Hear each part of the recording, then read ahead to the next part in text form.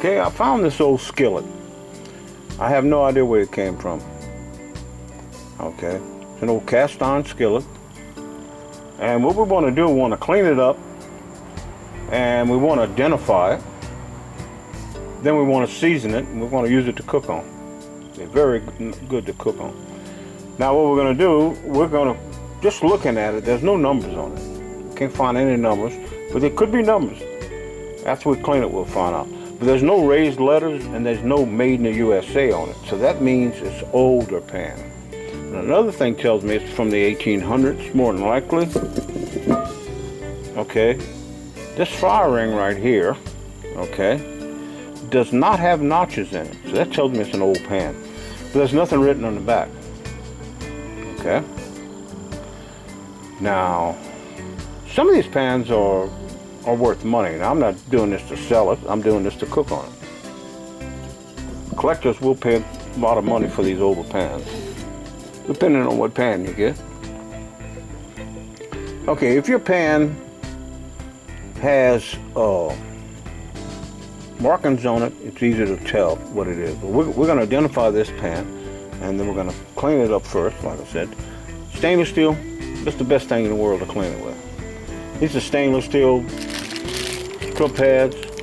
Uh, bought these from the dollar store. I think I paid, yeah, I paid like a dollar for them. The brass ones are the Brassos or, or the uh, not Brasso, uh, Brillo. They're they're not any good. They'll tear apart. You want this. And then I'm going to use cleaners. Anything you got, Dawn. Awesome from the dollar store, which is awesome. Uh, this is Mean Green Super Strength degreaser and cleaner and degreaser. Try some of that. Just anything you got, degreasers and cleaners. And we're going to scrub it hard. We're going to get everything off. Try to get all these black things off. Now, if we can't clean it, which I'm pretty sure I can, if I can't get it all the way down like I want, I want to get it all the way down to the metal, okay, before we even try to season it. And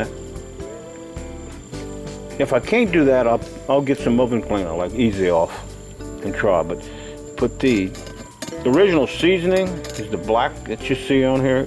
It's it's flaking. It's flaked off in most of the most of the pan. This is an old pan. So we're going to do that. Then we're going to come back and we're going to season it. Uh, we're going to get a good oil and season it. Okay. Now, do not use uh, olive oil. It uh, gets hot too fast. You don't want oil to burn. You don't want your oil to smoke when you season in the pan for health reasons and also for the pan. Uh, you'll get free radicals into your pan if you heat it up too much. And like a canola oil, you can go to 400 degrees on that, so, so that, that would be a good seasoning one. You can season in the oven or you can season it on top of the oven. And we're going to try on top of the oven first, on the stove. We're going to do it on the stove. And we're going to see what we're going to do. Now we're going to use, we're actually going to use animal fat. All right. Uh, animal fat was originally used in all these old pans. Uh, they, back in the day, they didn't have canola oil. They didn't have uh, all these fancy oils. They didn't have uh, the oils that you that you can use to season it with. So I'm gonna do like the old people did it, like it did in the old times. I'm gonna use animal fat. So we're gonna get some animal fat. I'm gonna, I'm gonna show you how we're gonna do that. But let's clean it first. Get some numbers, see if we can find some. There's gonna be numbers on it somewhere, maybe. And then we're gonna identify it. And then once we do that, once it's clean and identified, then we're gonna come back and season it. And see, once you season it, okay, you put a coat on here. It's gonna be like a coat, all right? It's gonna be a non-stick coat, all right? And this will be just like a non-stick pan, all right? And once you get your good seasoning, once it's seasoned good, you don't want to use metal utensils on here. You want to use, act like it's a, uh, an expensive non-skid pan that you want to not knock the surface off because you can knock you can knock your seasoning off so you want to treat it you don't want to clean it with salt some people say clean it with salt that destroys your the seasoning on it okay uh, you want to keep it wiped out, and you want oil. You know, I wouldn't cook with olive oil with this pan. You can, but it's not a good seasoning oil. Okay, canola oil is very good. It, it'll go to 400 degrees. You can cook with that. You know. So let's clean it up. Let's identify it, and then try to identify your pan while we're doing it, and then we'll get into seasoning it.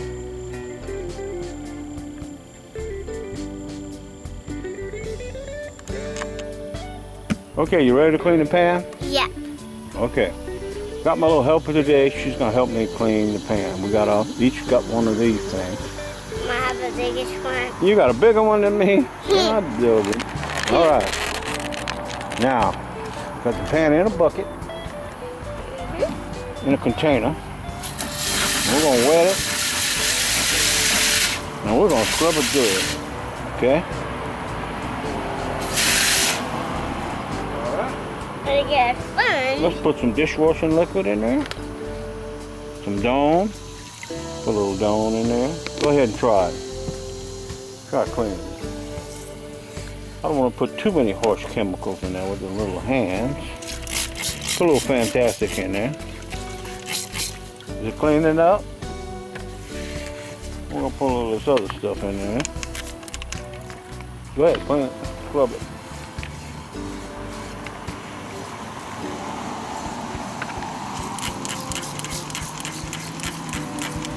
It'll take a lot of hard scrubbing.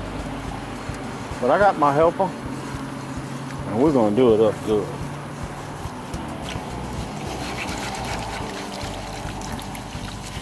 Is it cleaning? Oh yeah, scrubbing. Yeah, it's cleaning it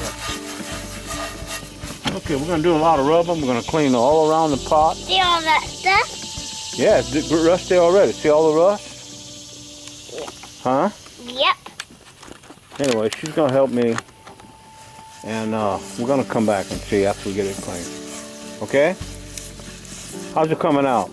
Good. Huh? Good. Good. It's rough, huh? Mm. All right. We don't want them chemicals to hurt your little fingers. We might have to get some gloves. Yeah. Yeah. Okay. We're gonna clean it, and then we're gonna come back and we're gonna film it. Okay? Yeah. Okay. Got our helper working. She got some gloves on to keep her little harsh chemicals off them little fingers. Little hands. How's it coming out, girl? Not really good. It's a lot of work. Mhm. You're not afraid of work, huh? When grandkids come over to the house, they, we put them to work. Good job. A lot of rust on that pan, huh? Mhm. She's cleaning it though. She's cleaning it.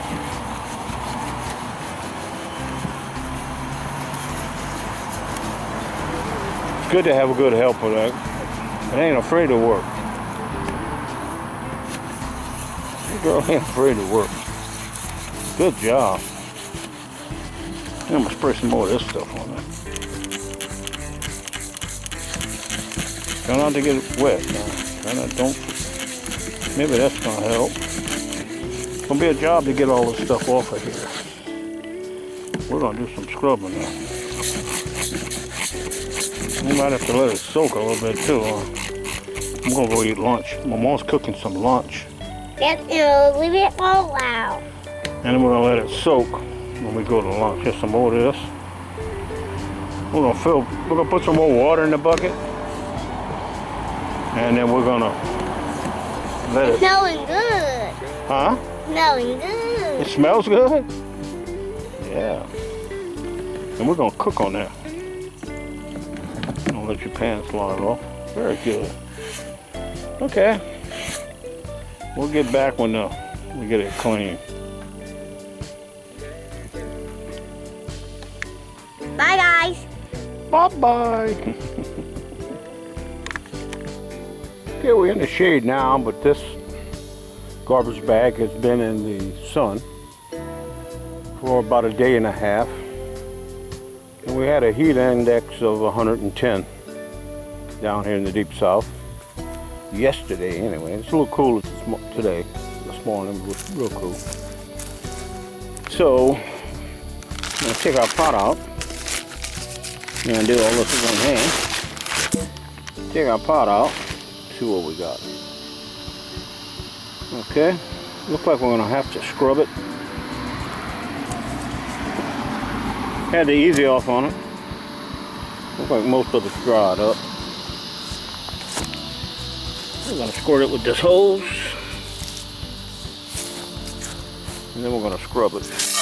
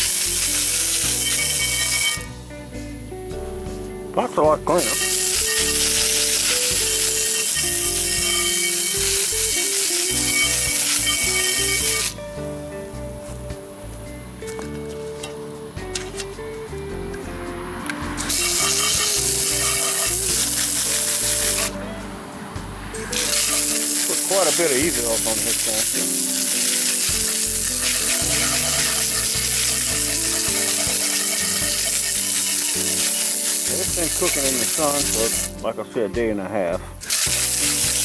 It's taking a lot of the crud off.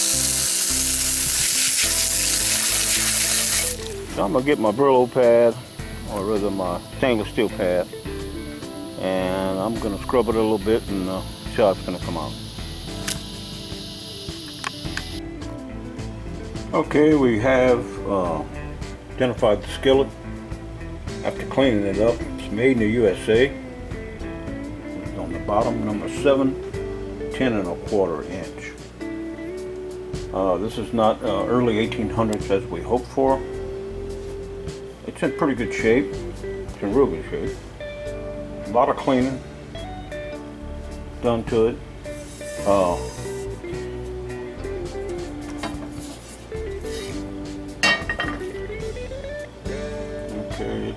did a lot of cleaning. Now we're gonna we're gonna treat this. We're not gonna use the oil we said we're gonna use. Uh, we're gonna use a different oil, and we're not just gonna put the oil on and then heat it up. We're gonna use a special process, a little bit different process than that, I should say. So this is instead of a $200 skillet, this is at best uh, $50 skillet. But we're not gonna sell it, we're just keeping it for cooking. So next we're gonna treat it.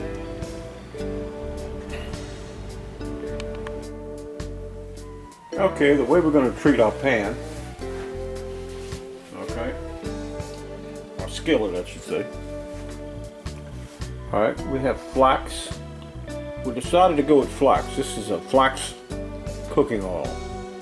Okay, it's pretty expensive for this little bottle, uh, 16 ounce bottle. It was about uh, about nine bucks. Pretty expensive. And what we did, we do a little bit different. We heated. This has been heated up, and you can feel the heat. It's quite quite a bit of heat there. So what we're going to do is we're going to put some in the pan. Now the idea of heating it up is to open up the pores before putting the oil in. Okay, you want to heat it up. It's pretty hot. Just to rub it in the pan. In the skillet, I should say. Okay. This handle's pretty hot, so I got to hold it with a paper towel. Okay, turn this over. There's no fire on there right now.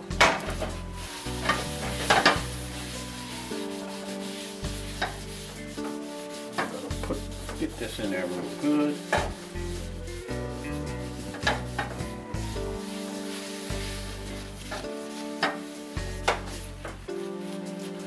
This is also cleaning the pan somewhat.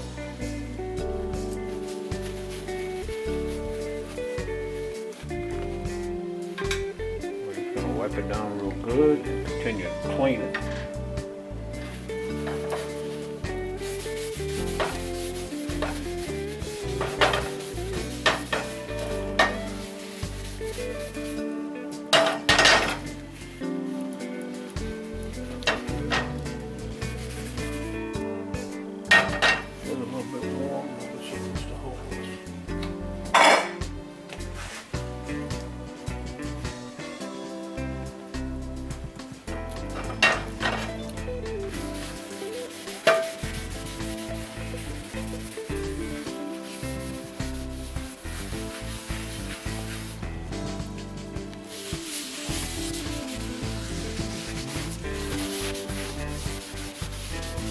Continue to wipe it real good. It's hot, it's pretty hot. Keep switching the cloth around. Okay.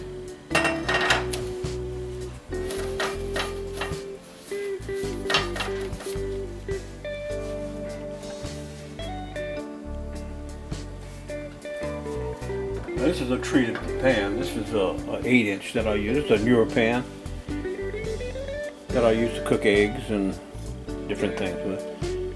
It's not an old one like this one.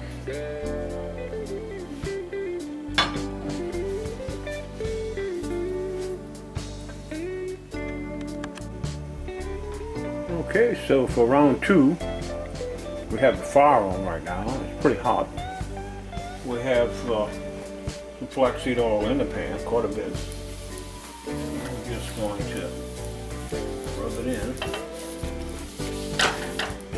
When you heat it up, it's going to open up the pores in the iron and it's going to allow to, the flaxseed oil to go into the pores.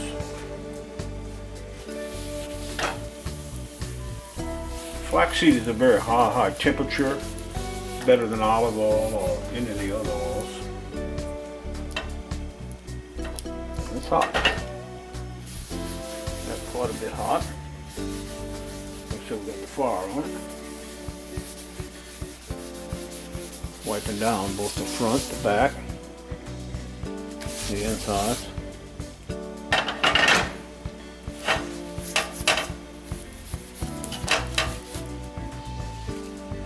Now we're gonna let it heat up for a little bit. Then we don't want it to smoke. Then we're just gonna shut the fire off. See, flaxseed oil doesn't smoke like uh, olive oil, and olive oil right now would be smoking like crazy. It's hot. All right, very hot. So what we're gonna do is we're gonna shut it off before it starts smoking. Shut the fire off. And we're gonna let it cool, totally cool down. Just leave it on the stove, let it cool down. Now what we're gonna do is we're gonna do this several times. It's getting a little smoke. It's getting a little bit of smoke. Turn it back. It's not a lot, a lot of smoke. Tiny amount of smoke. We want to stop it once it starts to smoke a little bit. Okay. Now we're just going to let it cool down. Totally cool down. We're going to do this about four or five times on the stove top. Then, out of there. It could be a fire hazard. Then, we're going to do it again and we're going to put it in the oven upside down and we're going to bake it on probably about 400 degrees for an hour and then we're going to shut off the oven and let it cool down in the oven and we're going to do that probably three times going to try that three times and then we'll see what type of uh, type of finish we have on our pot our skillet I should say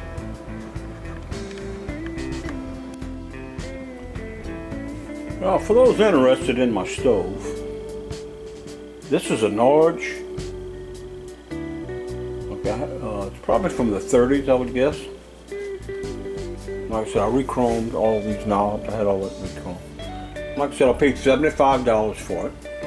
Okay. Uh, and then I re-chromed everything. But I didn't re-chrome this. I didn't have to re-chrome these ends. And I, I just cleaned all this up good. Uh, we took the stove apart and made sure all the everything was connected tight. And it has pilot lights. And I wasn't going to see about getting a kit and converting it over to the electric spark. Now, we do have a powerful range hood here on top of it. Now the range hood, uh, this, this thing was special ordered because we really wanted a, a, a range hood with a lot of uh, a lot of power as far as the vents, the vents go. And there's LED lights in the range hood. And it matches the stove. But we've been cooking on this thing for 15 years and it was old when we got it. So it's it's a really good stove. If anybody interested in getting them one, you really really will enjoy it. The only drawback, like I said, is the uh, pilot lights. It has pilot lights. And uh, if one of them goes out, you'll smell the gas in your house.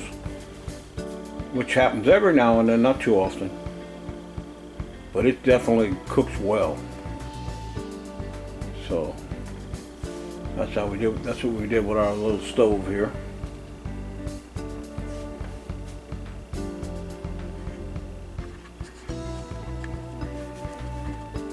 That deep pot right there, I'm fixing to do a blooming onion. Fixing to cook a blooming onion in this in this pot right here once I strain the grease. That's canola oil. That's pretty deep too. We're gonna cook a blooming onion.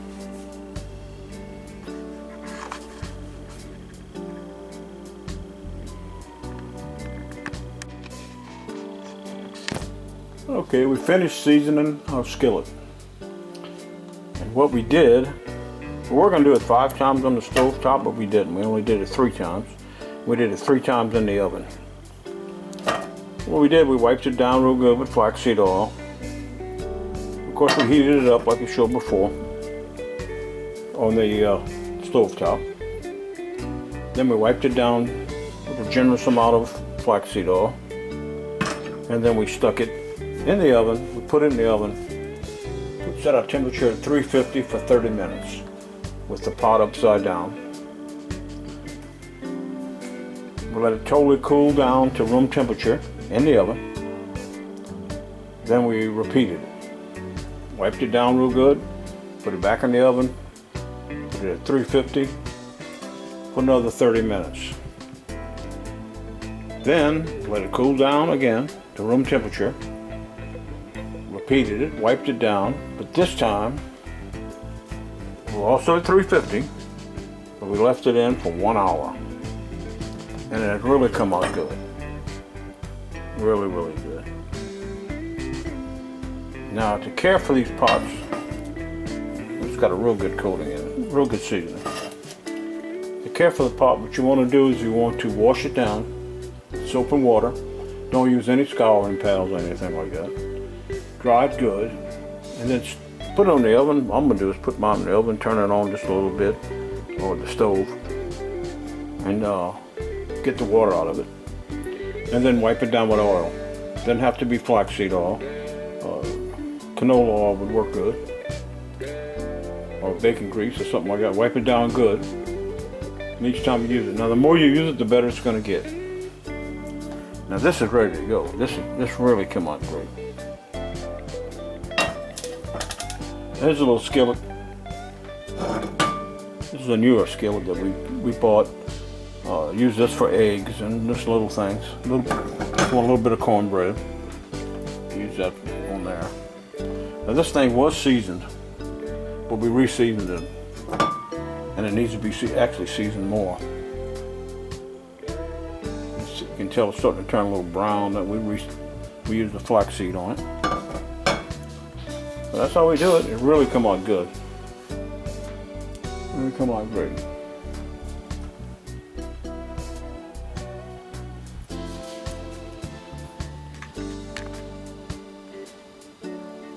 little pot we're fixing to cook a blooming onion in. Need a strain of grease.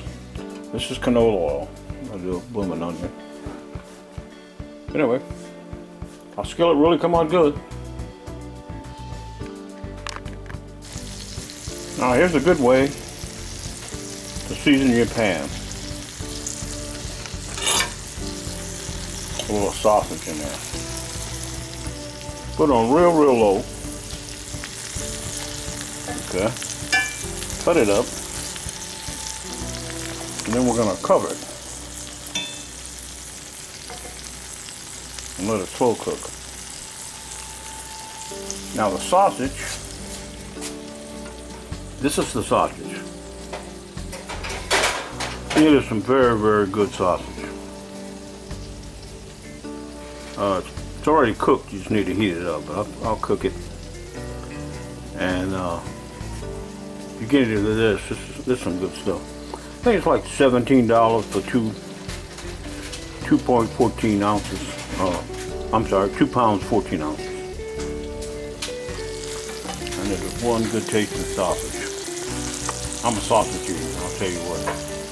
It's good. We bought the sausage at uh, Sam's Club. So anyway, this is good for seasoning. And what I did, sausage makes its own grease. But what I did, I put a little bit until it got started. Put a little bit of my flax, flaxseed oil in it. Anyway, season in the pan.